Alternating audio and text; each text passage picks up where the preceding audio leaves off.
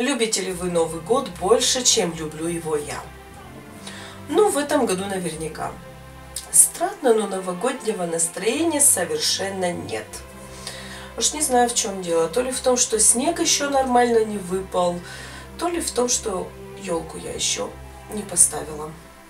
Ладно, снег это природное явление, и на него я повлиять не могу. Хотя даже у снега есть куча вариантов замены. Там пенопласт, синтепон.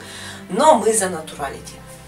А вот елку я подумываю искусственную ставить. Не красота, конечно, да и размерчик не мой, но елка есть. Это факт. Появись, появись, новогоднее настроение, будь умничка, иди ко мне. Вообще, почему это я привязываю свое настроение именно к елке? Чем она так отличилась? Почему не туя, например? Она ведь тоже вечно зеленая. Это подсознательное программирование началось в 15-16 столетии. Тогда впервые начали приносить в дом и украшать рождественскую ель. Этот обычай прочно укоренился в Германии, Австрии, Эльзасе и Лотарингии. Причем сторонники реформации всячески поддерживали нововведение, подчеркивая символику ели как аналог райского дерева, древа познания добра и зла, символа вечной жизни и молодости. Однако, я не могу не упомянуть о том, что у осетин существовал обычай подметать пол после поминок еловыми ветками, дабы упокоенный не претендовал ни на что в доме и с собой никого не стремился забрать. Подметала непременно вдова. Позднее обряд упразднили до простого подметания. Между прочим, именно в Лотаринге появилось такое популярное елочное украшение, как стеклянный шар – конце XVI века под влиянием распространяющегося протестантизма обычай дарить подарки по случаю окончания года сместился с 6 декабря со дня Святого Николая на 24 декабря. С этого момента ель становится главным рождественским атрибутом. А Святой Николай перетрансформировался в Санту. В центре празднования с тех пор находилась рождественская елка в основании которой стали класть подарки. В былые времена у нас, само собой, не клали под ель подарки. У нее были другие функции. Так как зима у нас считалась временем забвения и отдыха, когда миром правят темные силы, ель символизировала вечную жизнь, и с ее помощью пытались те самые силы держать подальше.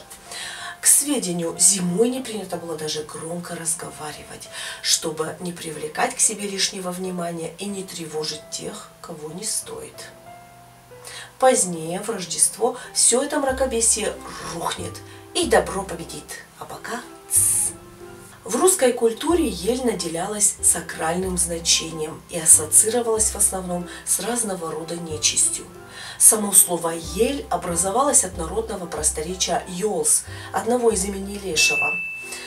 Ель традиционно считалась у славян древом смерти, о чем сохранилось немало свидетельств. С конца XIX века мрачный образ ели постепенно начал меняться, соединив в своей семантике два традиционных обряда – исконно русскую траурную церемонию с еловыми венками и празднование Рождества с нарядной и пушистой елкой, пришедшей с Запада – Постепенно в сознании славян ель крепко соединилась с положительным символом рождественского дерева. Вот видите, как пропаганда может поменять сознание и мировоззрение.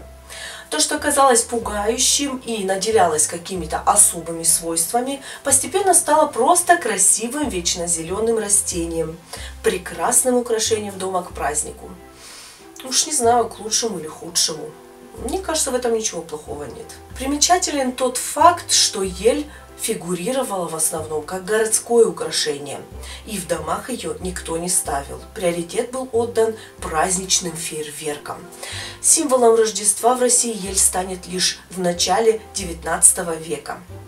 Позднее рождественские ели появились в домах петербургских немцев, которые ревностно оберегали привезенные с родины обычаи. Резко снизился статус Рождества к 1922 году, что обусловлено ростом официальной пропаганды, направленной против религиозных праздников.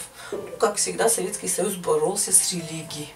К тому времени уже успели поменяться местами Рождество и Новый год, пытаясь поднять авторитет светского праздника. Тогда, 25 декабря, все еще оставался нерабочим днем, но на праздничных мероприятиях читались лекции, а рождественские елки превратились в комсомольские.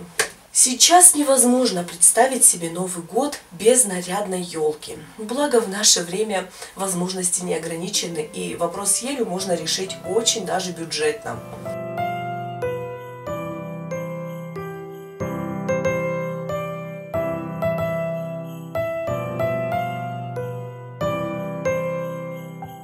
Ставить или не ставить, живая, искусственная.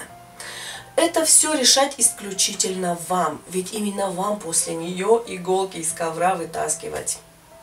Веселого вам Нового года, а про Рождество поговорим отдельно.